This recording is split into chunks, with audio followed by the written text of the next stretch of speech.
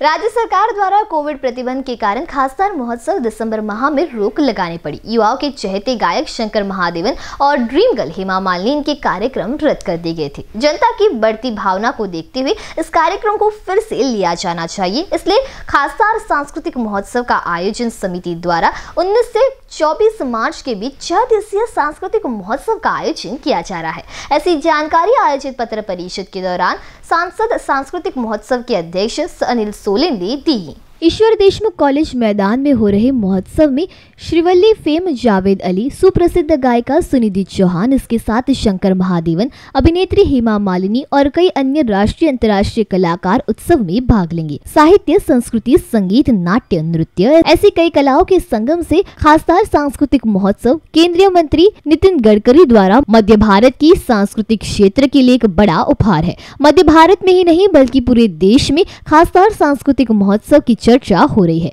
कई राष्ट्रीय और अंतर्राष्ट्रीय स्तर पर प्रसिद्ध कलाकार इस उत्सव में अपनी कला पेश करने के लिए उत्सुक है। पिछले साल 17 से 26 दिसंबर तक ईश्वर देशमुख कॉलेज ग्राउंड में भव्य तरीके से महोत्सव का आयोजन किया गया था। स्वतंत्रता की अमृत महोत्सव के तहत केंद्रीय अवधारणा पर आधारित कार्यक्रमों की झड़ी लग गई थी। सुप्रसिद्ध गायक सुखविंदर सिंह, सूफी गायक कैलाश खेर, पंडित विजय घाटे, पंडिता मंजूषा पाटिल पंडित राकेश चौरसिया, प्रख्यात कवि कुमार विश्वास, सैयद पाशा, हास्य जत्रा की टीम ऐसे ही दिग्गज कलाकारों ने अपनी कला का प्रदर्शन कर नागपुर वासियों को मंत्रमुग्ध किया। लेकिन अचानक राज्य सरकार द्वारा लगाए गए प्रतिबंधों के कारण जाने माने गायक शंकर महादेवन और प्रसिद्ध अभिनेत्री नृत्यांगना हेमा मालिनी के समापन कार्यक्रम रद्द करना पड़ा। आपल्याला सगळ्यांना माहिती आहे की मागे डिसेंबर महिन्यामध्ये आपल्याला खासदार म- सांस्कृतिक महोत्सव हा अचानक कोरोनाच्या प्रादुर्भावामुळे थांबवावा लागला. आणि त्याच्यामुळे दोन कार्यक्रम त्याचे राहिले होते. आता कोरोनाचं जो आक्रमण आहे ते आता थांबलेलं आहे. आणि म्हणून खासदार सांस्कृतिक महोत्सव पार्ट टू म्हणून आपण एकोणीस तारखेपासून चोवीस तारखेपर्यंत सहा कार्यक्रम या ठिकाणी करण्याचं ठरवलेलं आहे.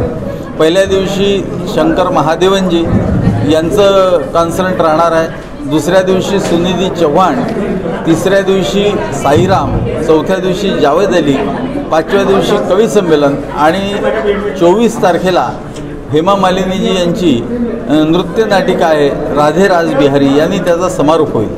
उद्घाटनाला आदरणीय आमचे मार्गदर्शक केंद्रीय मंत्री श्री नितीनजी गडकरी त्याचप्रमाणे विरोधी पक्षनेते महाराष्ट्राचे श्री देवेंद्रजी फडणवीस हे उपस्थित राहणार आहेत. आणि त्या दिवशी शंकर महादेवनजी यांच्या गाण्याने त्याची सुरुवात होणार आहे.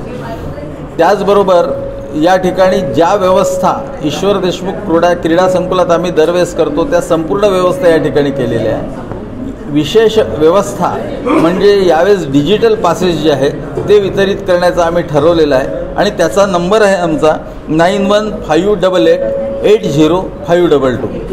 Nine one five double eight eight zero five double two. या नंबरवर गेल्यानंतर क्लिक केल्यानंतर ताबडतोब आपल्याला आपला डिजिटल पास मिळेल. या पासेस धारण करणाऱ्या लोकांकरता वेगळी व्यवस्था गेट नंबर दोनमधून करण्यात आलेली आहे. कैमरा पर्सन अखिलेश भारद्वाज के साथ क्षितिजा देशमुख बी न्यूज़ नागपुर।